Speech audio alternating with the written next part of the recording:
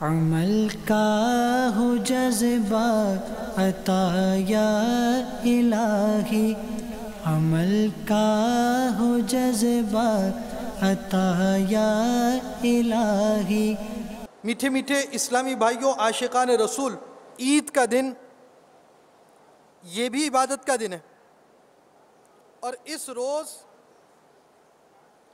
نماز عید بھی ادا کی جاتی ہے۔ آئیے آپ کو آج نماز عید کا حنفی طریقہ بیان کیا جائے۔ پہلے اس طرح نیت کیجیے کہ میں نیت کرتا ہوں دو رکعت نماز عید الفطر یا عید الاضحیٰ کی۔ سات چھ زائد تکبیروں کے واسطے اللہ عز و جل کے پیچھے اس امام کے۔ پھر کانوں تک ہاتھ اٹھائیے۔ اور اللہ اکبر کہہ کر حسب معمول ناف کے نیچے باندھ لیجیے۔ اور ثنا پڑھیے۔ پھر کانوں تک ہاتھ اٹھائیے اور اللہ اکبر کہتے ہوئے لٹکا دیجیے۔ پھر ہاتھ کانوں تک اٹھائیے اور اللہ اکبر کہہ کر لٹکا دیجیے۔ پھر کانوں تک اٹھائیے اور اللہ اکبر کہہ کر باندھ لیجیے۔ یعنی پہلی تکبیر کے بعد ہاتھ باندھنا ہے، اس کے بعد دوسری اور تیسری تکبیر میں لٹکائیے اور چوتھی میں ہاتھ باندھ لیجیے۔ اس کو یوں سمجھیے کہ جہاں قیام میں تکبیر کے بعد کچھ پڑھنا ہے، وہاں ہاتھ باندھنے ہیں اور جہاں نہیں پڑھنا، وہاں ہاتھ لٹکانے ہیں۔ پھر امام تعوض اور تسمیہ آہستہ پڑھ کر الحمد شریف اور سورہ بلند آواز کے ساتھ پڑھے۔ پھر رکو کرے۔ دوسری رکعت میں پہلے الحمد شریف اور سورہ جہر کے ساتھ پڑھے۔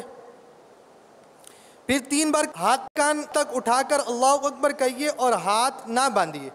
اور چوتھی بار بغیر ہاتھ اٹھائے اللہ اکبر کہتے ہوئے رکو میں جائیے۔ اور قاعدے کے مطابق نماز مکمل کر لیجیے۔ ہر دو تکبیروں کے درمیان تین بار سبحان اللہ کہنے کی مقدار چپ کھڑا رہنا ہے۔ عیدین یعنی عید الفطر اور بقر عید کی نماز واجب ہے، مگر سب پر نہیں، صرف ان پر جن پر جمعہ واجب ہے۔ عیدین میں نہ اذان ہے، نہ اقامت۔ عیدین کی ادا کی وہی شرطیں ہیں جو جمعہ کی، صرف اتنا فرق ہے کہ جمعہ میں خطبہ شرط اور عیدین میں سنت۔ جمعہ کا خطبہ قبل از نماز ہے اور عیدین کا بعد از نماز۔ ان دونوں نمازوں کا وقت سورج کے بقدر ایک نیزہ بلند ہونے یعنی طلوع آفتاب کے بیس یا پچیس منٹ کے بعد سے زوہ کبرا یعنی نصف النہار شرعی تک ہے۔ مگر عید الفطر میں دیر کرنا اور عید الاضحیٰ میں جلد پڑھنا مستحب ہے۔ صلو علی الحبیب صلی اللہ تعالی علی محمد۔ جی حضور آج آپ کون سی نماز پڑھ رہے ہیں؟ آج انشاءاللہ عز و جل نماز عید کا طریقہ۔ نماز عید کا طریقہ آپ دکھا رہے ہیں نماز عید پڑھ رہے ہیں۔ دکھائیں گے انشاءاللہ۔ نیت کر لیجیے۔ میں نیت کرتا ہوں دو رکعت نماز عید الفطر کی یا عید الاضحیٰ کی۔ سات، چھ زائد تکبیروں کے۔ چھ کیوں ہو گئی؟ ابھی تو تین کی بات ہو رہی تھی۔ تین ہر رکعت میں ہے اور عید کی کتنی رکعتیں ہوتی ہیں؟ دو رکعتیں۔ تو ٹوٹل کتنی ہو گئی؟ چھ زائد تکبیریں۔ واسطے اللہ عز و جل کے پیچھے اس امام کے۔ اب آپ یہ نیت کیجیے اور کانوں تک ہاتھ اٹھائیے۔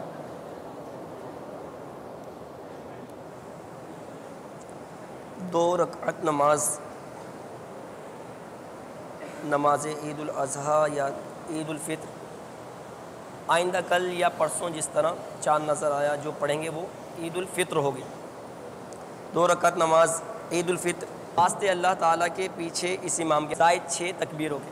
تکبیر جو ابھی آپ کہہ رہے ہیں یہ آپ کی پہلی تکبیر کون سی تکبیر ہے؟ تکبیر تحریمہ۔ یعنی جو عام نماز میں ایک تکبیر کہتے ہیں وہ تکبیر ہے۔ جی۔ اب تکبیر کے بعد آپ ہاتھ باندھیں گے یا نہیں؟ تکبیر کے بعد ہاتھ باندھے جائیں گے کیونکہ کیوں؟ کیونکہ اس میں ثنا پڑی جاتی ہے۔ آپ کو اصول بیان کیا گیا۔ تھا کہ جہاں کچھ پڑھنا ہے وہاں ہاتھ باندھنا ہے جہاں کچھ نہیں پڑھنا وہاں ہاتھ نہیں باندھنا۔ آپ نے ایک تکبیر کہی تکبیر کہنے کے بعد آپ نے ہاتھ کیوں باندھے کہ اب آپ نے ثنا پڑھنی ہے؟ تو آپ کو اصول بیان کیا گیا کہ جہاں کچھ پڑھنا ہے وہاں ہاتھ باندھنا ہے جہاں کچھ نہیں پڑھنا وہاں ہاتھ نہیں باندھنا۔ اب آپ ثنا پڑھیے۔ اللہ اکبر۔ سبحانک اللہم و بحمدک و تبارک اسمک و تعالی جدک و لا الہ غیرک۔ اب آپ کیا کریں گے؟ اب میں زائد تین تکبیریں پڑھوں گا۔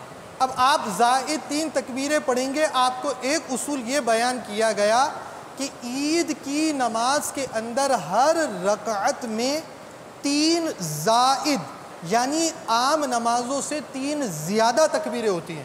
تو اب آپ تین زائد تکبیریں یعنی تین زیادہ تکبیریں عام نمازوں کے مقابلے میں پڑھیں گے۔ جی تکبیر کہیے۔ اللہ اکبر۔ ٹھہر جائیے۔ آپ نے ہاتھ کیوں لٹکا دیے؟ کیونکہ ابھی میں نے کچھ پڑھنا نہیں ہے اس کے بعد ایک اور تکبیر باقی ہے۔ یہ آپ کی زائد پہلی تکبیر ہوئی ویسے آپ دوسری تکبیر کہہ رہے ہیں۔ ایک تکبیر کہی ہے آپ نے جس سے نماز میں داخل ہوئے ہیں اس کے بعد آپ نے ثنا پڑھی ہے۔ اب آپ نے عام نمازوں سے زیادہ تین تکبیریں کہنی ہیں تو اب آپ نے ایک اور تکبیر کہی۔ بظاہر آپ کی یہ دوسری تکبیر ہے اور زائد آپ کی یہ پہلی تکبیر ہے اور اس میں آپ نے ہاتھ لٹکا دیے کہ آپ نے کچھ بھی نہیں پڑھنا۔ پھر اب آپ کیا کریں گے؟ پھر تقریباً تین سبحان اللہ کی مقدار توقف کروں گا۔ پھر دوسری تکبیر انشاءاللہ پڑھی جائے گی۔ اللہ اکبر۔ اب آپ نے بظاہر تیسری تکبیر پڑھی ہے یہ اور نماز میں زائد کے اعتبار سے یہ دوسری تکبیر ہے۔ اور اس مرتبہ بھی آپ نے ہاتھ لٹکا دیے ہیں کہ آپ نے ابھی کچھ نہیں پڑھنا۔ اب آپ کیا کریں گے؟ اب تیسری تکبیر تو ہوگی۔ یعنی یہ ویسے یہ چوتھی تکبیر ہے۔ جی۔ رکعت کے اندر اس رکعت میں آپ نے نماز میں داخل ہونے کی ایک تکبیر پڑھی ہے اور تین زائد تکبیریں۔ تو پہلی تکبیر کے بعد ہاتھ باندھا دوسری کے بعد ہاتھ لٹکایا تیسری کے بعد ہاتھ لٹ- لٹکا دیا۔ اب چوتھی کے بعد آپ کیا کریں گے؟ ہاتھ باندھ لوں گا۔ جی۔ کیونکہ ادھر قراءت کرنا مقصود ہے۔ جی۔ اور جہاں کچھ پڑھنا مقصود ہوتا ہے تو ادھر ہاتھ باندھے جائیں گے۔ جہاں کچھ پڑھنا مقصود نہیں ہوگا، وہاں ہاتھ لٹکا دیے جائیں گے۔ اللہ اکبر۔ الحمد للہ رب العالمین الرحمن الرحیم، مالک یوم الدین۔ الدين إياك نعبد وإياك نستعين اهدنا الصراط المستقيم صراط الذين أنعمت عليهم غير المغضوب عليهم ولا الضالين.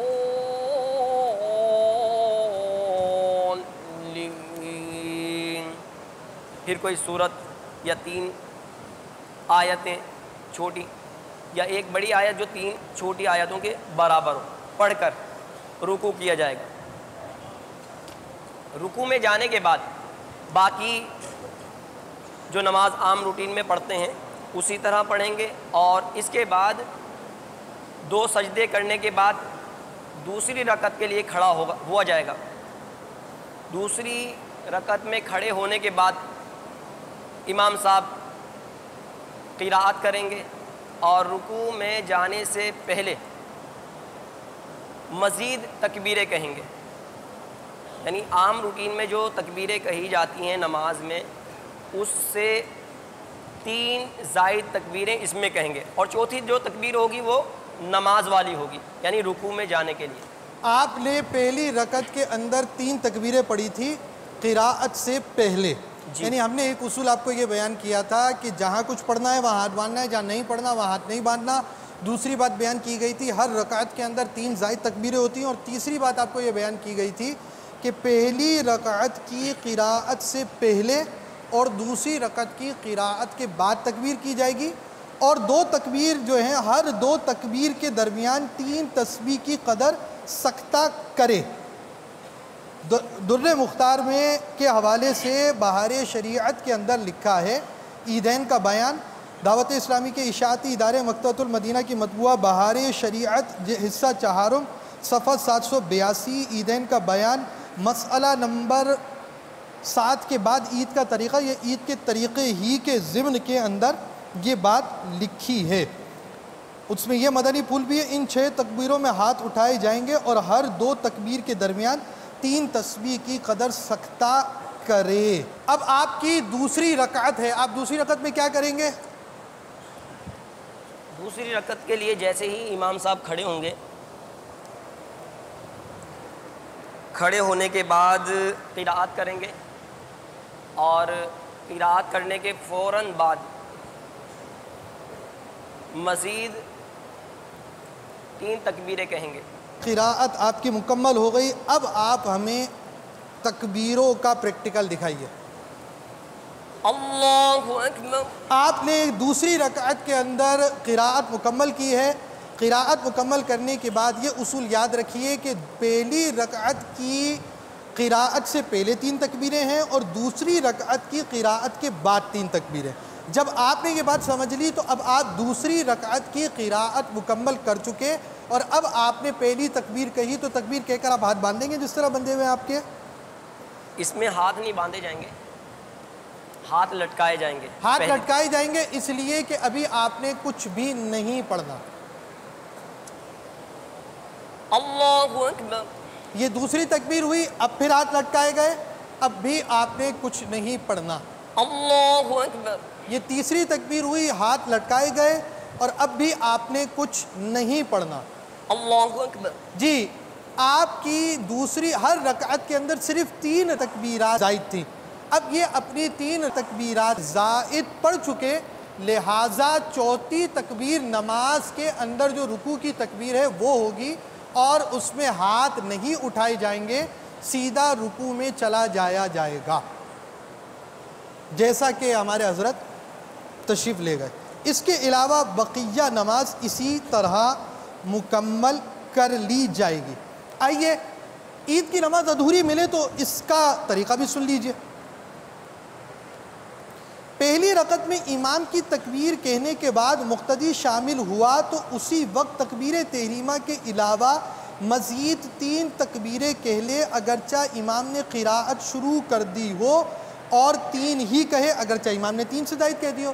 امام صاحب نے غلطی سے زیادہ کہہ دی تو ہم غلطی میں امام صاحب کی پیروی نہیں کریں گے۔ اور اگر اس نے تکبیریں نہ کہیں کہ امام رکوع میں چلا گیا تو کھڑے کھڑے نہ کہے، بلکہ امام کے ساتھ رکوع میں جائے اور رکوع میں تکبیریں کہہ لے۔ اور اگر امام کو رکوع میں پایا اور غالب گمان ہے کہ تکبیریں کہہ کے امام کو رکوع میں پا لے گا تو کھڑے کھڑے تکبیریں کہے، پھر رکوع میں جائے۔ ورنہ اللہ اکبر کہہ کر رکوع میں جائے اور رکوع میں تکبیریں کہے پھر اس نے رکوع میں تکبیریں پور پوری نہ کہی تھی کہ امام نے سر اٹھا لیا تو باقی ساقط ہو گئیں یعنی بقیہ تکبیریں اب نہ کہے۔ اور امام کے رکوع کے اٹھنے کے بعد شامل ہوا تو اب تکبیریں نہ کہے۔ یہ پانچ صورتیں ہیں۔ کتنی صورتیں بیان ہو گئی یہ پہلی رکعت کی پانچ صورتیں۔ نمبر ون آپ لیٹ ہیں، ایک تو لیٹ ہونا نہیں چاہیے۔ عید کی نماز میں لیٹ آنے والے وہی ہوتے ہیں جن کو یاد آتا ہے کہ آج غسل بھی کرنا ہے تو تیل بھی ڈالنا ہے تو مونچھیں بھی بنانی ہے اور فجر کی نماز بھلے پڑھنی ہو، نہیں پڑھنی ہو، بڑے تیار ہو کر کاٹن کے کپڑے پہن کر ہی عید کی نماز ہوگی، اس کے علاوہ نہیں ہوگی، لوگوں سے عید ملنی ہوگی اور بچے ہیں تو عیدیاں لینی ہوں گی اور دادے ہیں تو عیدیاں دینی ہوں گی۔ تو آپ ان کاموں کے لیے عید کے نوٹ رکھیں گے تو کلب والے کپڑے رکھیں گے تو عطر کی شیشی ساتھ رکھیں گے بھلے رکعتیں نکل جائیں تو اس وجہ سے لیٹ نہیں ہوا جا سکتا۔ بہرحال آپ دیر سے آ گئے پھر دیر کر دی آپ نے۔ آہ۔ اب آپ اگر دیر سے آئیں تو اس کی ایک صورت یہ ہے کہ امام نے قراءت شروع نہیں کی۔ آپ داخل ہوئے۔ امام نے تکبیریں پوری کر دی۔ یعنی آپ داخل ہوئے امام صاحب اللہ اکبر اللہ اکبر اللہ اکبر اللہ اکبر۔ یہ چاروں باتیں پڑھ چکے، اب یہ تعوذ و تسمیہ، اعوذ باللہ، بسم اللہ قراءت سے پہلے کی کر رہے ہیں۔ یہاں تک کہ اب آپ کو جاگ پڑی اور آپ آ گئے، جلوہ فروز ہو گئے۔ اب آپ کیا کریں گے؟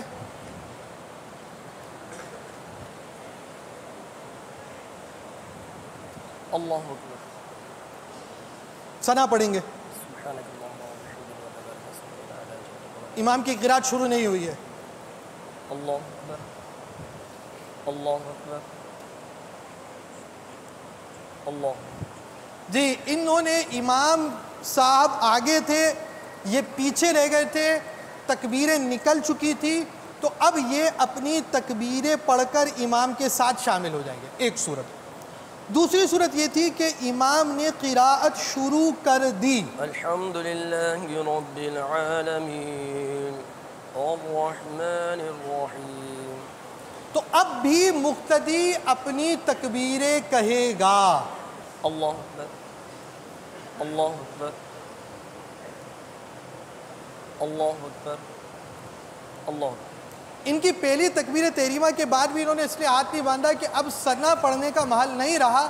وہی قاعدہ، وہی اصول جو آپ کو بیان کیا گیا تھا کہ جہاں کچھ پڑھنا ہے، وہاں پر آپ نے ہاتھ باندھنے ہیں۔ جہاں کچھ نہیں پڑھنا، ہاتھ نہیں باندھنے۔ اب آپ لیٹ آ گئے، اب لیٹ کسی وجہ سے بھی آئے، کوئی عذر بھی ہو سکتا ہے اور اکثر سستی ہوتی ہے۔ آپ لیٹ آئے، امام صاحب نے تلاوت شروع کر دی، مت گھبرائیے۔ آپ آئیں۔ آپ اس انداز سے چاروں تکبیر کہہ کر امام کے ساتھ داخل ہو جائیں گے۔ یہ ہو گیا قرآت سے پہلے کا مسئلہ یہ ہو گیا قراءت شروع ہونے کے بعد کا مسئلہ اب آپ نے دیر کر دی۔ یہاں تک کہ امام صاحب رکوع میں چلے گئے۔ اب یہاں تین صورتیں۔ امام صاحب جب رکوع میں جا چکے تو اب آپ کی تین صورتیں بنیں گی۔ نمبر ایک آپ کو غالب گمان ہے کہ میں تکبیریں پوری پڑھ کر امام کو رکوع میں پالوں گا۔ تو کھڑے کھڑے تکبیر کہیے۔ ہمارے امام صاحب ہیں، پانچ سات تجویوں سے کم تو نماز پڑھاتے نہیں ہیں، عادت ہے۔ ہمیں پریکٹس معلوم ہے کہ اس میں کچھ ٹائم لیتے ہیں ہمارے امام صاحب۔ تو اب اگر ایسا ہے اور گمان غالب ہے، اچھی بات ہے کہ مقتدیوں کی ایسی رعایت جو ایک تصویر کی ان کو کرنی چاہیے۔ تو اب وہ رکو کرتے ہیں آپ کو پریکٹس یہ ہے کہ میں چار تکبیریں کہہ کر رکو میں شامل ہو جاؤں گا۔ تو اب آپ کھڑے کھڑے تکبیر کہیے۔ اللہ اکبر اللہ اکبر اللہ اکبر اللہ اکبر۔ جی انہوں نے چار تکبیریں کہیں اور پانچویں میں رکو کیا ہے۔ چار اس لیے کہیں کہ پہلے تکبیر تحریمہ انہوں نے کہی ہے جس سے نماز میں داخل ہوئے۔ آپ کو دوسرا اصول یہ بیان کیا گیا تھا ہر رکعت میں تین تکبیریں زائد ہیں۔ پہلی تو نماز ہی کی ہے۔ تو جنہوں نے نماز کی کہی وہ شمار نہیں ہوگی۔ اس تین کے اندر وہ ایک ہو گئی اور اس کے علاوہ باقی تین ہوئی اور اس طرح یہ چار تکبیرات ہوئی اور ان چار تکبیرات کے بعد اب انہوں نے پانچویں تکبیر رکو کے لیے کہی۔ جبکہ آپ کا غالب گمان تھا کہ امام صاحب رکو میں ہیں اور آپ یہ تکبیریں کہہ کر امام صاحب کو رکو میں پالیں گے۔ اب مسئلہ یہ ہوا کہ آپ رکو میں بھی لیٹ ہو گئے۔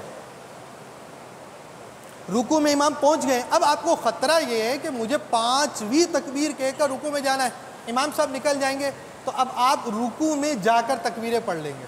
امام رکو میں ہے آپ رکو میں کس طرح امام سے ملیں گے؟ اللہ اکبر۔ اللہ اکبر۔ جی یہ دو تکبیریں اس طرح کہہ کر عام نماز جب آپ پڑھ رہے ہیں اور رکو میں جب جائیں گے تو یہی انداز ہوگا رکو میں جانے کے لیے۔